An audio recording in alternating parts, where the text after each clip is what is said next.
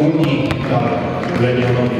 Legionowo przypomnę, że jak na razie w tym sezonie pomiędzy tymi zespołami mamy remis. Raz 3 do 2 wygrały zawodniczki z Opola, raz w tym samym stosunku wygrała piłka Wital Legionowia.